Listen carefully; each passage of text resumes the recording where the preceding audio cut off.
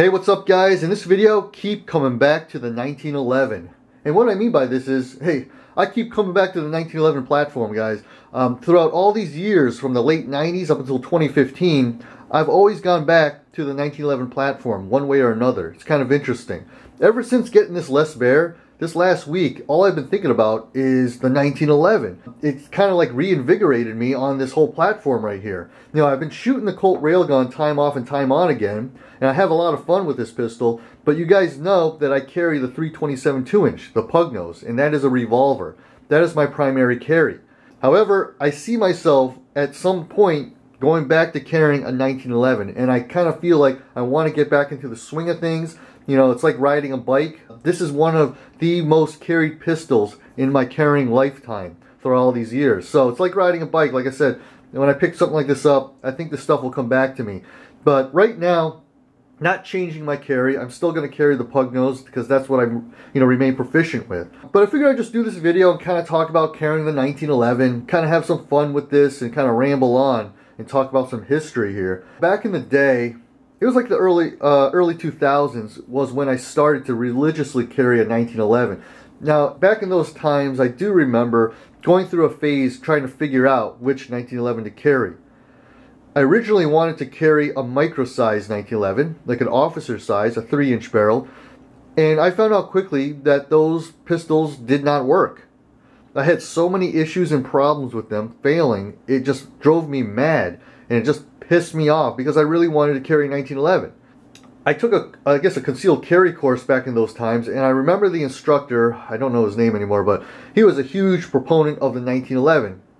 And I noticed he carried a government size 1911. I believe his was actually uh, a Wilson Combat at the time, you know, an expensive one back then, uh, in an outside the waistband holster. And I'd always thought, that's just too big, man, it's too big.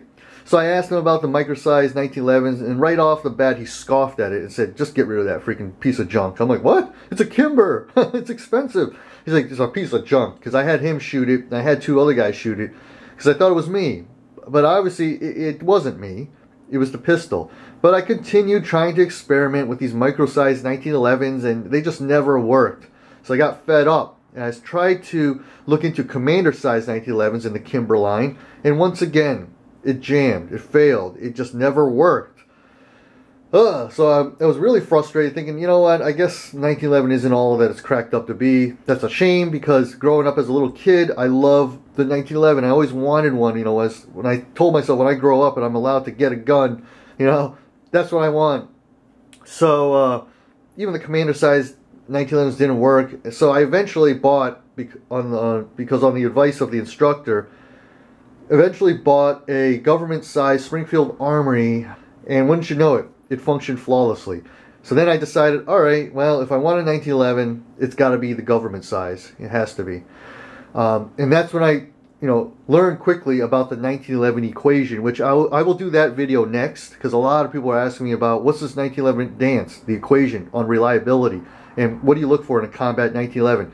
Video's coming up next. All right, anyways, so I was like, how do I carry this beast of a pistol? And that instructor was the first guy to really show me a lot about the 1911 platform, how to use it, how to fight with it, and how to carry it. And he immediately gave me one of his used summer special holsters. It was really used up, kind of disgusting looking, but he says, trust me, you're going to use this, you're going to carry that full-size 1911 government size inside the waistband. I'm like, I don't want to do that. And he's like, you're going to do it. So he kind of showed me how to carry it. And it actually worked out pretty well. And that's how I carried a 1911 for, I think, a full year until I decided to switch over to an HK P7 M8. And I carried one of those type of pistols for another year straight religiously. And then I said, you know what? I want to go back to the uh, 1911. So I went back to the 1911. See, I keep going back to it. I carried another, uh, I don't remember which models, guys. I've owned so many 1911s throughout all these years. I didn't want to think about it. I, I, really don't, but it was some model 1911. Went back to the 1911 for another uh, year, and then I went back to a Glock for another year. Then I went back to the 1911 again for another two years straight. Government size 1911, I recall. That could have been uh, when I got a Wilson Combat CQB. And I carried that for two years straight. All right. Then I went back to some other sort of pistol. I don't know what. Then I went back to the 1911 once again for another couple years. Then I went back to another pistol. Then I went back to the 19. So you guys get the picture. I've always gone back to this platform, and the reason why is because I could shoot this this pistol right here or a 1911 extremely well.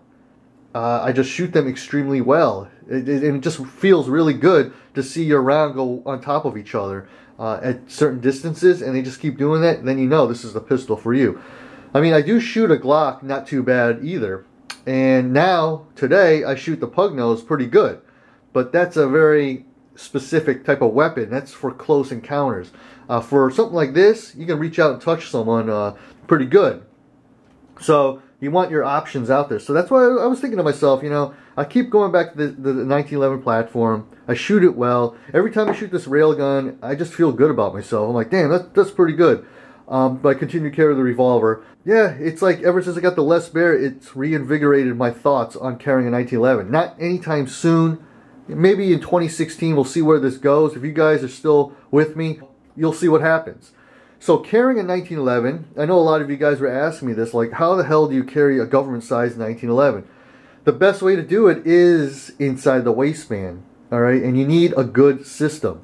And what that includes is a gun belt, all right? You need a gun belt made by Milt Sparks, okay, Comp-Tac, uh, any of these belts that are made specific to hold a lot of weight because a full-size stainless steel, like something like this, 1911 on your hip, you know, what is it, two-pound pistol? I mean, it's heavy. It's heavy and it's large, so you need, absolutely need a gun belt. Then you need a good holster, something that's going to fit your body shape, your body type. Inside the waistband, outside the waistband. Preferably inside is what you're going to have to do. And I can um, tell you, certainty here, Versa Max 2, made by Milt Sparks, is probably the way to go uh, in, within being tolerable and very functional. I'll do a video about that specific holster later on because I, I actually have one coming to me just to show you guys. So you need a really good holster. The Summer Special uh, Summer Special 2 is not a bad holster for a 1911, but some people do complain that it's not as maybe stable or something, it doesn't tuck in as much. So that'll be up to you, but you do need to find the perfect concealment holster. Outside the waistband is probably the most preferable because it's the most comfortable. And there are a lot tons of great outside the waistband holsters, but it's just how do you conceal this thing uh, in the summertime outside the waistband? Not too practical, not practical at all. But I do know a lot of guys at the range, you know, in these hot and humid summer months, concealing a full-size government 1911 inside the waistband using a Versamax 2 or some type of uh, high-tech plastic holster. So we can, you know, that's what you got to do. You got to find the right system. You should carry one spare magazine, you know, because the 1911 does have a limited capacity, just like the revolver that I have. I carry one spare speed loader. You should try to do that. So on the belt, you get a little pouch, put one mag in there. It can be done. I, I mean, like I said, I've carried a 1911 throughout all these years. It's probably the most carried gun uh, throughout most of my carrying lifetime. And I've always carried it mainly inside the waistband a government size full stainless steel like this and it's a challenge at times and sometimes you just feel like why am I doing this but you do it because that's what you got to do you never know when you're going to have to use something like this God forbid but at least you have the tools of the trade on you and if you decide to carry 1911 then you got to make it work out you got to make it work so guys that's about it this video here just rambled on talking about always going back to the 1911 and how to kind of carry one and we're going to continue on yeah was talking about this the 1911 platform for next uh, month or so. I think this will be kind of cool, getting back into the 1911. So let me know what you think, guys. Leave some comments below. And as always, stay safe and check 360 often. Later.